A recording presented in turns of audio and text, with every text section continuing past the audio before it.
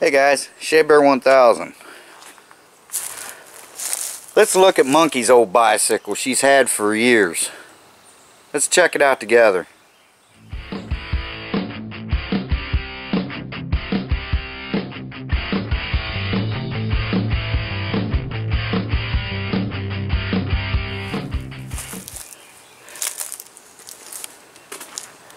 Okay guys, I had mentioned in one of my previous videos about Monkey had a bicycle. I was thinking about putting an engine on it. Uh, she used to ride it and uh, when she moved here, I don't know if she rode it when she moved here, but it's just been sitting out back and it's been getting kind of rusted up and the handlebars, you know, there's no reprieve for them. They need painted. The, the handle grips, uh, this one's split right there, so it's going to need new handle grips. The seat is decent. It needs cleaned up, but it's it's fine.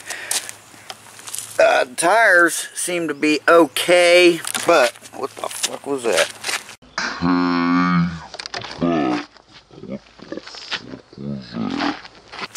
What the hell it is? It's fucking chasing me. Palmetto bug. Uh, they're a little dry crack, so probably gonna need some tires. There's some cracking there, but I like I like that she's got the white walls on it, both front and back. This is Westport, made by Murray. I'm not I, I'm not sure what year it is.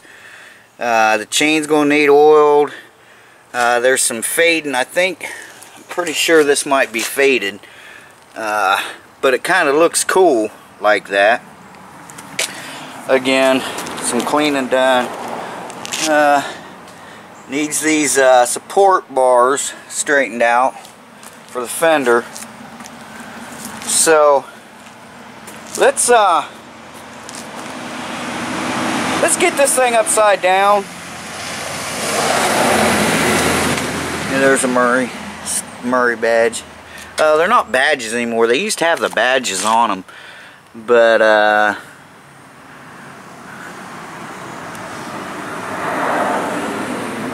like this might be a 2012.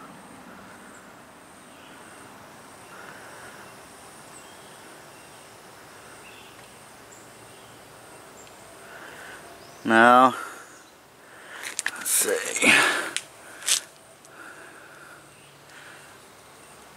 It'd be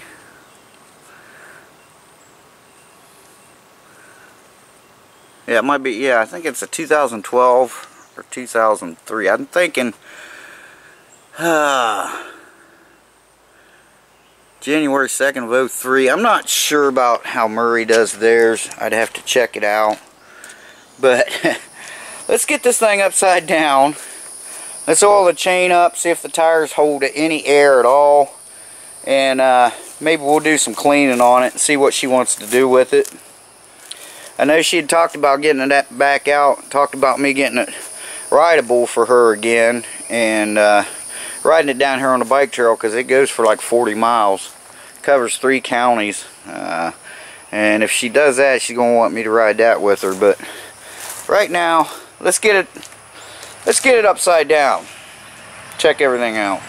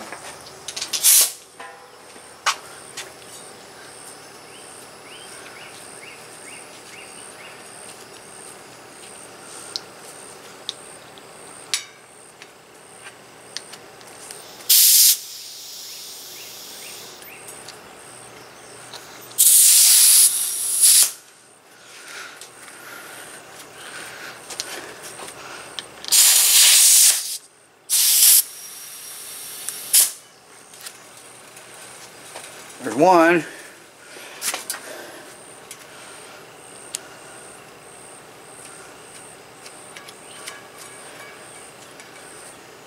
I think the tubes would be alright. I think the tires are just old and dry cracked.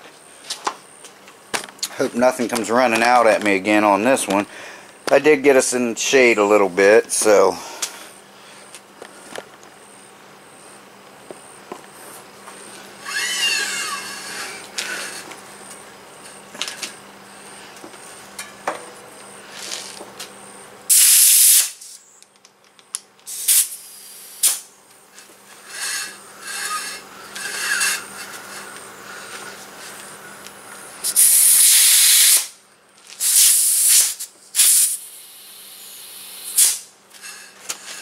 Yeah, it's going to need a tire for the back, most definitely.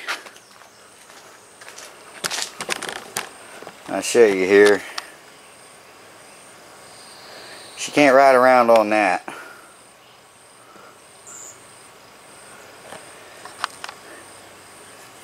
Who knows, maybe I'll get another junk bike and it'll have some tires on it, right? So let's get you over here go ahead and oil this chain up.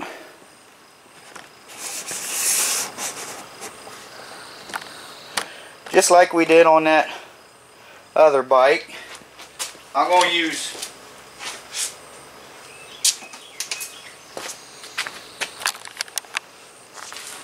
we use a little transmission fluid.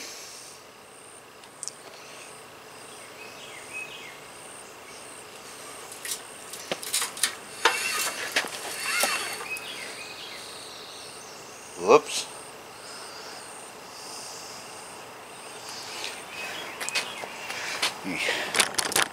Move you over here a little bit, pedals in the way.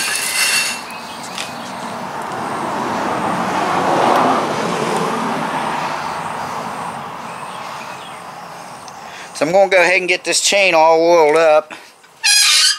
That's going to need a little oil. The kickstand So I'm going to go ahead and get this oiled up and I'll show you how to straighten that fender. Now, I don't know how well you guys can see this, but right here there's a bend in this, okay? And if I put that there, you might be able to see it a little better. See the gap between, between, be, between, behind, behind there. I'm just going to take this and I'm going to try to squeeze that together like that until it gets better, okay? Now, this don't always work because this is rounded. If it was on the inside, I could cut this down and make it a little easier, but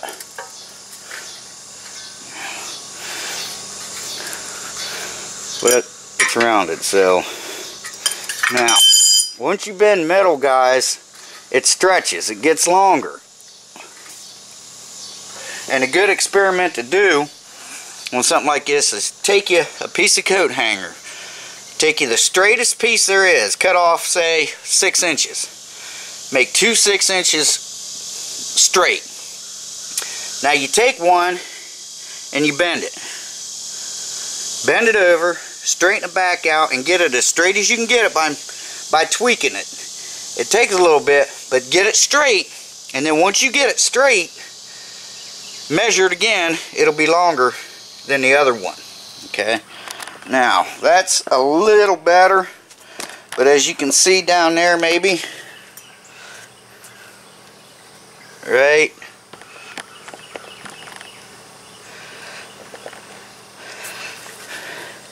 right here, the tire's still hitting. So, we're just going to bump it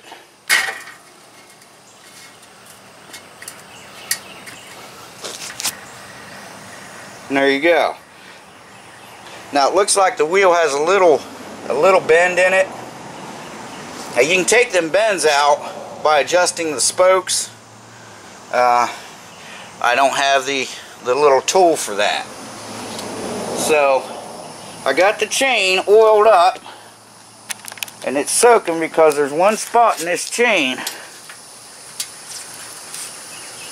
I don't know if you can see that right there. that needs some work right there See how it kind of goes up and down? So, I'm going to mess with that a little bit more, and then we'll flip it back up onto its wheels again. Okay, what I've got here is I've got a little bit of steel wool. It's real fine. It used to be an SOS pad. I can't find a new one. So we must be out unless she moved them. And I got this soapy water in here. It's just uh, dishwashing liquid. And we'll dump that or dip that in there. And we'll rub it on here and see what happens. Uh, like I said, the handlebars will have to be painted. I'll probably just take them off and paint them black.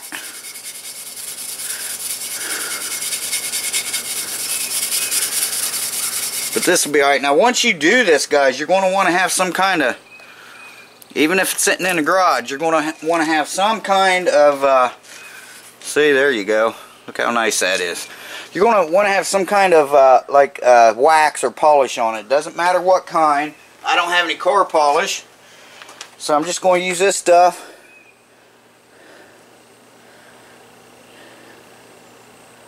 Scratch Denny Maximum Strength Scratch Remover. So I think yeah, this is just a, polish. It was supposed to, I did a review on this. It's supposed to take out scratches on your vehicle. I wasn't impressed with it. Uh, make scratches disappear. Well, I don't know, but this is what I'm going to use on it. So what I'm going to do with that is I'm going to keep doing that, and I'm going to get both the fenders looking good. Now these handlebars, as you can see, they're just, you know, they just need to be sanded and painted. You'll never get that back because the chrome's actually gone. So you're wasting your time trying to clean something uh, of that nature. Same way with the crank on the pedals. Uh, I'll probably just sand them and paint them. But let me get back on these fenders and I'll show you the difference. Okay guys, so what happened here, I went ahead and sanded the handlebars, shot some paint on them. I went to shut the camera off or went to hit the record button to stop recording and it started recording so I didn't record any of that but all I did was just sanded them off shot some black paint on them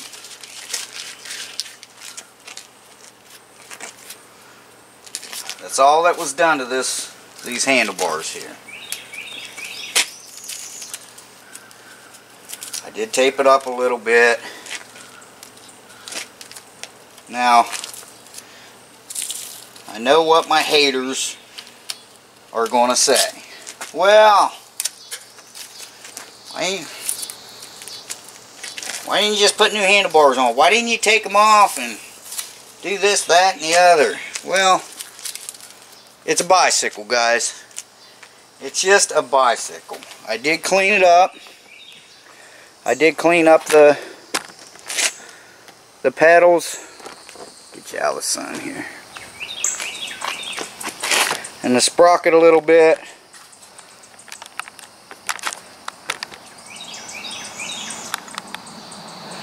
Uh, the fenders did turn out pretty good. Where you at? They're still pitted. I probably could have got them a little better than that. Whoops. The handlebars look better. there's the bike. Now, of course, I did not clean the wheels and the tires. You can see them wheels down there, I think. Pitted. I'll tell you why they're pitted. Because they're rusted. I'll tell you why I didn't clean the wheels and tires. Okay. Well, for my haters, I did not clean the wheels and tires because in order to do that, the best way to do it, if she decides she's going to keep this bicycle, I'm going to put new tires on it for her. The tubes are fine. In order to put new tires on, I have to take the old tires off. In order to take the old tires off, I have to take the wheels off. When I take the wheels off and the old tubes and tires out of it, off the wheels. Then I will clean the wheels up, see what they look like. If they need painted, I will sand them and paint them. I'm not restoring this bicycle. I'm just cleaning it up in case she wants to ride it. Here's my thing. You go putting a bunch of money in something like this, you're not going to get no money out of it. You know, let's say it turns out to be a $50 bike. If I have to put $50 into it to make it a $50 bicycle, we're not counting my time. Okay?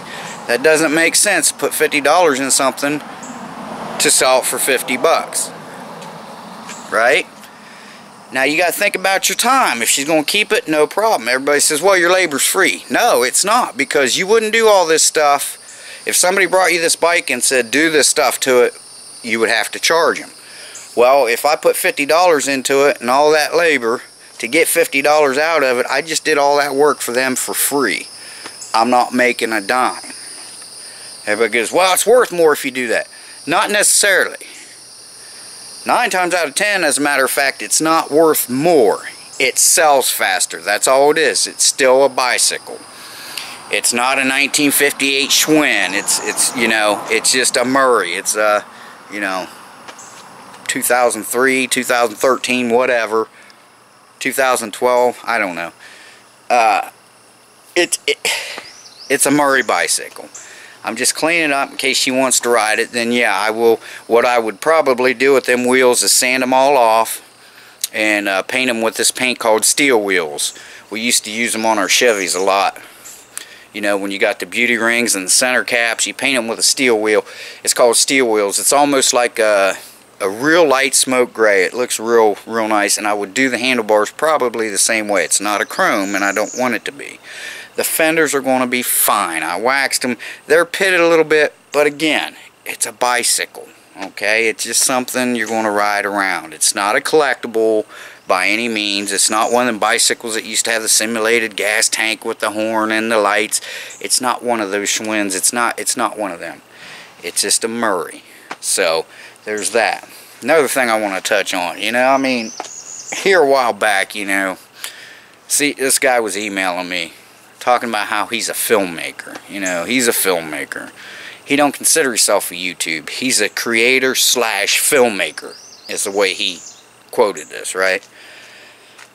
So, you know, I'm an asshole, but I tell it like it is. That's why some people think I'm an asshole, but I said, okay, uh, have I seen your films on, uh, on Netflix? No. Have I seen your films on HBO? No. Have I seen your films on the History Channel? No. The Travel Channel? No. Where have I seen your fil films at?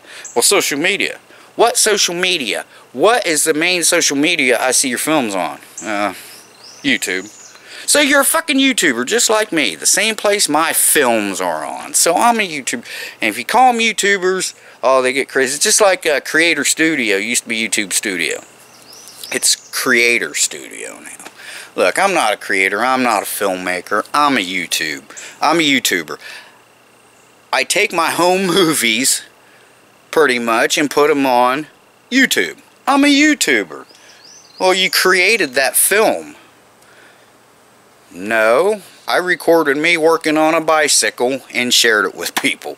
So anyway, guys, I'll give you another look at it, and we'll ride it up the driveway.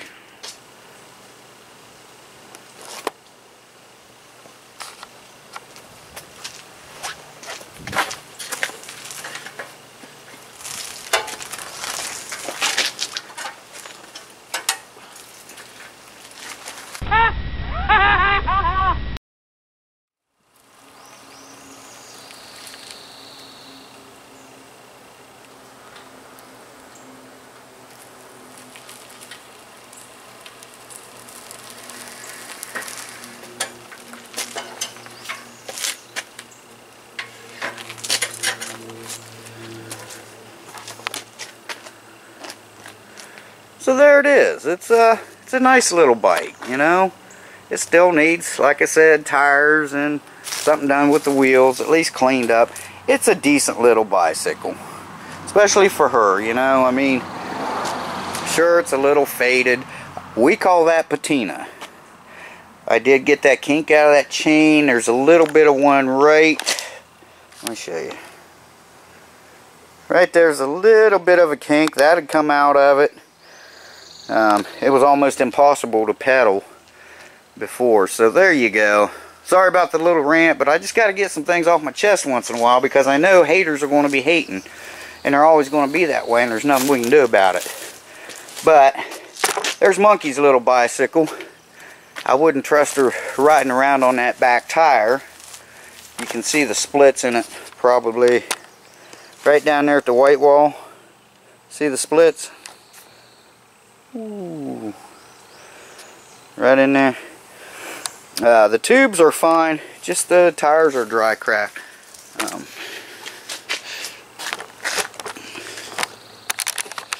if she decides she wants to keep it and I put new tires on it, I will go with another set of white walls. I'll put a little money into it for her if she's going to keep it, but not to resell. So, uh, there you go, guys. Fixing up an old bicycle. I mean, technically it's rideable right now. I just wouldn't trust that back tire. I mean, it's not, I don't think it would blow out, but, you know, just not a good idea. This bike here, she did real good on that bike, guys. I'm proud of her on that, so I should be able to make a couple bucks on this because I doubt if I'll ever be able to ride it.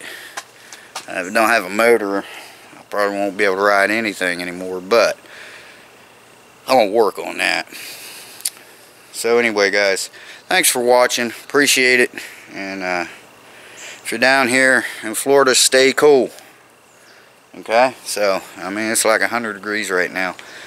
Um, so anyway, I'll talk to you guys later. Again, thanks for watching. Appreciate it. Y'all be cool. Shea Bear, the myth, the man, the legend. I'm gone for now. Bye-bye, guys. Take care.